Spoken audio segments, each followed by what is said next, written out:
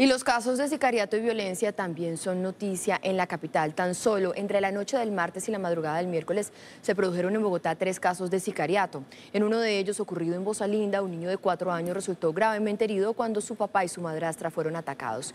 En el lago norte de la ciudad, un comerciante murió al ser baleado por un hombre en moto y en San Benito un joven fue mortalmente herido en circunstancias que hacen presumir una venganza. También inquieta el grave aumento de robo de bicicletas por hombres con armas de fuego. Pues nos conectamos a esta hora con el analista de la Fundación Paz y Reconciliación, Ariel Ávila. Hola Ariel, ¿qué tal? Buenos días. Juan Eduardo y Marixa, muy buenos días y muy amables por la invitación. Gracias, siempre es un gusto saludarlo. Ariel, ¿qué ve usted detrás de este repentino brote de inseguridad y sicariato en Bogotá? ¿Realmente es repentino o es que no lo habíamos notado? Mira, Juan Eduardo, en promedio en Bogotá, mm, de los poco más de mil homicidios que ocurren en la ciudad, entre 85, 86, la cifra más baja hace cuatro años, hasta 126 obedecen a casos de sicariato. Y aquí hay dos problemas delicados. Por un lado, pues en general se ajustan cuentas en Bogotá, narcos, jefes criminales se esconden en Bogotá y llegan aquí a ajustar cuentas. Y lo segundo es que hay un fenómeno que se llama subcontratación criminal. Las organizaciones criminales ya no envían sicarios profesionales o pistoleros, sino que contratan servicios locales y muchas veces los sicarios no saben ni quién los contrató ni a quién están matando. Entonces hay como unos ejércitos privados que, funcionan como guardias pretorianas para cometer estos crímenes y por eso se utilizan jóvenes, eh, en el caso de Medellín, 14 años, 15 años. Y eso se está presentando en general en todo el país, no es solo un fenómeno de Bogotá.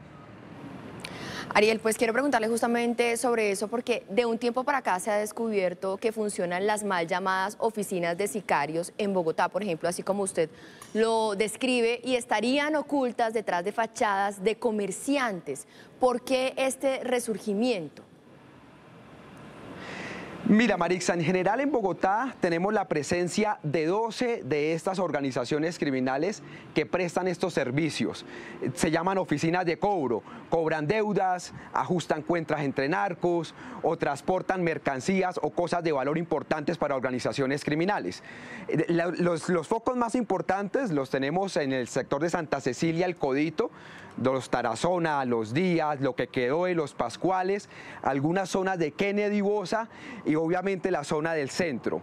Y eso, digamos, en Medellín estamos hablando por lo menos de 40 oficinas de cobro. En Cali hablamos de 22 oficinas de cobro. Y eso es lo que está pasando. Y aquí es muy importante decir esto. Creo que no todos son paramilitares y grandes organizaciones criminales, como dicen algunas organizaciones sociales, pero el fenómeno tampoco es de jóvenes desadaptados, es mucho más complejo. Y por último, en este caso, el sistema penitenciario y el sistema de responsabilidad penal adolescente no están ayudando a que estos jóvenes que caen en manos de estos criminales se rehabiliten y terminan haciendo son maestrías o doctorados en el crimen en esos centros. Ariel, ¿qué relación hay en estos casos de sicariatos, eh, los que han ocurrido en Medellín, Barranquilla y Bogotá? ¿Existe alguna correlación? Tenemos dos fenómenos diferentes. Por un lado, una serie de narcos, ex jefes paramilitares han venido ya de extradición y se han presentado varios ajustes. Usted recordará el caso del Carulla hace apenas tres semanas en Bogotá, donde un narco recientemente ya llegado a Colombia después de pagar penas en Estados Unidos fue asesinado. Igual tenemos en Barranquilla e igual tenemos en Medellín. Y por otro lado, Producto de la salida de las FARC de varias zonas, se ha presentado una guerra entre múltiples organizaciones criminales. Y en el caso de la Guerra Verde Esmeraldera, otra vez Bogotá ha sido epicentro. En el Bajo Cauca, entre caparrapos y autodefensas gaitanistas, otra vez pues Medellín y el Bajo Cauca epicentro de estos homicidios, como ustedes lo reportaban hace unos minutos, o lo que está pasando en Buenaventura. Entonces, en general hay un reacomodo criminal en todo el país y las ciudades no son ajenas a ese proceso. Ariel, y le queremos preguntar por otros hechos de inseguridad, como por ejemplo el aumento en el robo de las bicicletas. ¿Cuál es esa mafia que se está moviendo por debajo que llegan a matar por una bicicleta? Fíjate, Marisa, que en muchas ciudades eh, el homicidio ha disminuido.